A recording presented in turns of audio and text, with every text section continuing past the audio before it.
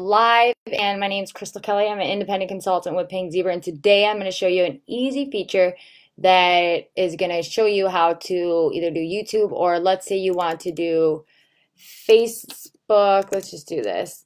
Well, a Facebook post or cover or whatever it could be. All you have to do, I mean, find something you might like in here, but I would recommend just don't overdo some of it. So I'm going to show you what I did. So right here, whoop.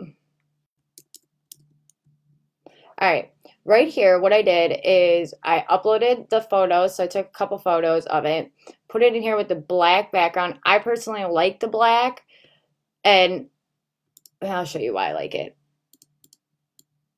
It's Canva, but we're just going to do white. So now we're not going to worry about these ends. I'm going to show you how and why.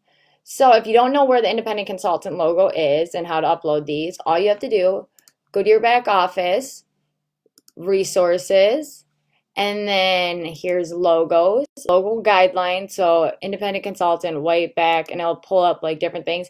And you just pull it like right over here, kind of like I did. And then you can upload. Or you can do the color one. I mean, there's so many options Pink Zebra has given you guys. Now, I'm going to go back over here. So I already uploaded that one that you saw. So we're going to go like this. Place it right here. Right there. And then you can either download it, download the link, and then you can save it onto your desktop or whatever you're using. Or I like to do Command Shift 4, and it's pretty much taking a screenshot of it.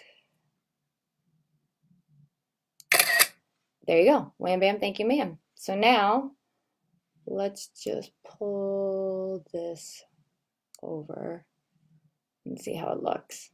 All right.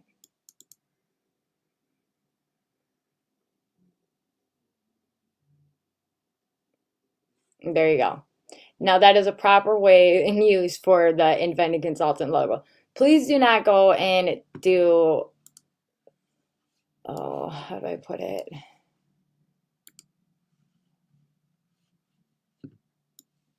like you do not need five different logos on one thing okay it just don't have it too cluttery either but just some tips and tricks that i've learned i hope this video helped you if you have any questions follow my channel and i've been giving tips and tricks bye you guys